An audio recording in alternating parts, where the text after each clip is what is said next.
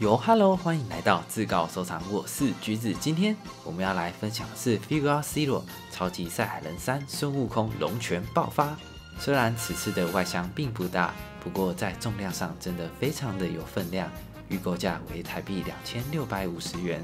整体的高度约为二十三公分，还原出《七龙珠 Z 剧场版龙拳爆发悟空舍我其谁》里面的最后一幕。悟空使用了龙拳，一拳贯穿了幻魔人希尔德刚，也是我小时候印象非常深刻的一部剧场版。不过这件作品因为近期被砍单非常严重，代理商告知这次的到货量只给零点五成，所以一般店家也只能分到个位数，也造成市场供不应求的情况。而在面相还原度方面，我觉得这款悟空的脸做的并不算太差。比起前一款我们分享过的雾吉塔，在细节涂装与做工方面，可以明显感受到好上许多。比较特别的是，这次赛亚人的头发使用了土黄色的配色，与过去金发的样貌有些落差，也是刚拿到这件作品的玩家们需要习惯的地方。不过整体在头发以及衣服的光影渐层涂装质感倒是有不错的表现，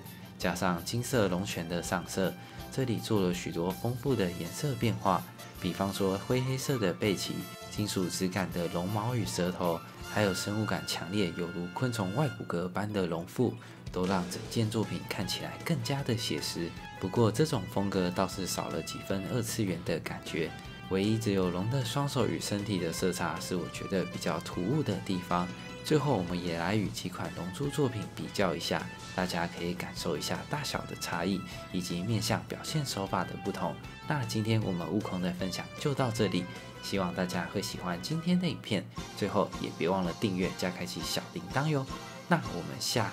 次见。